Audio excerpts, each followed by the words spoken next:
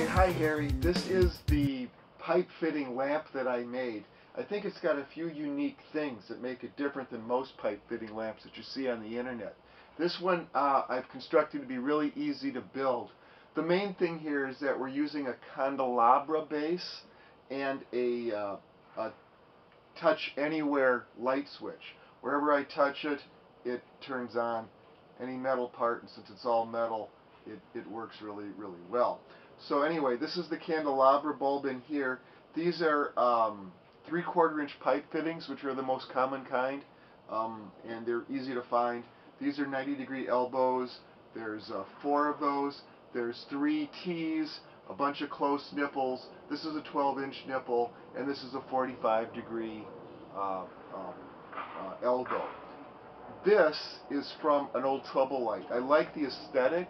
This could be any kind of um, shade. Again, it uh, works on a touch switch.